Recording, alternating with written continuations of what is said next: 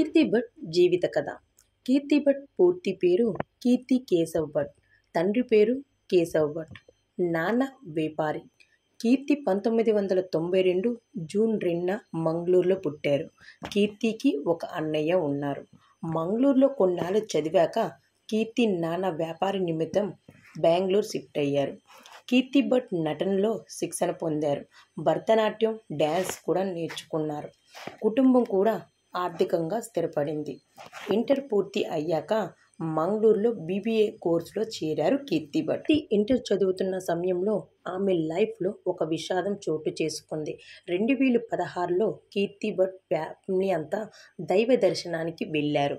దర్శనం అనంతరం తిరుగు ప్రయాణంలో ఇంటికి వచ్చే సమీపంలో ఉన్న తండ్రి ఫ్రెండ్కి ప్రసాదం ఇచ్చేటందుకు వెళ్తుండగా కారు ఎదురుగా వస్తున్న వాహనానికి ఢీకొట్టింది ఈ ప్రమాదంలో తండ్రి తల్లి అన్నయ్య వదిన పది నెలల వయసు గల పది నెలల వయసు గల తన అన్నయ్య కొడుకు కూడా ప్రాణాలు కోల్పోయారు.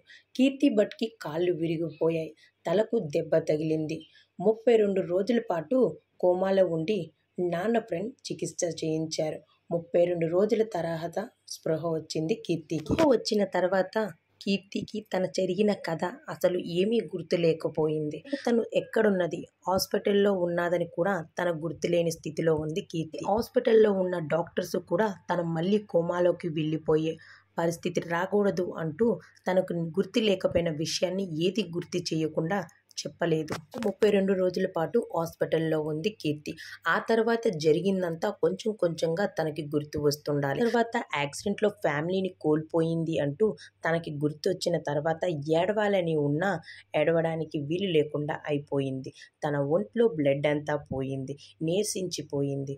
ఓన్లీ ఫ్రూట్సే తనకి ఆహారం అనే మనం చెప్పాలి. ఆ తర్వాత తనని ఆదరించే దిక్కు లేకుండా పోయింది. అయిన వాళ్ళు కూడా తనను పట్టించుకోకుండా తనను బయటకు గెంటేశారు. తర్వాత కీర్తి తనను గెంటేసిన వాళ్ళ ముందే తల ఎత్తుకునేలా నిల్చుంది. అప్పుడు కీర్తి భట్ అంటే తెలుగు ప్రేక్షకులకు తెలియకపోవచ్చు. కానీ బుల్లి తెరపై ఎంట్రీ ఇచ్చిన తర్వాత మనసిచ్చి చూడు సీరియల్లో భానుగా కార్తీక దీపం సీరియల్లో హిమ అంటే ప్రేక్షకులు గుర్తుపట్టేస్తారు.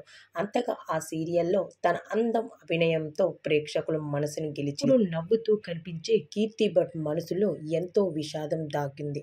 కళలో కూడా ఊహించని విధంగా చోటు చేసుకున్న అందరినీ కోల్పోయినా అయిన వాళ్ళు తన మోసం చేసిన బంధువులు వేధించిన తట్టుకొని నిలుచుంది. మంచి మనసున్న వ్యక్తి కీర్తి. మనం కూడా తనని సపోర్ట్ చేసి ముందుకు నడిపిద్దాం.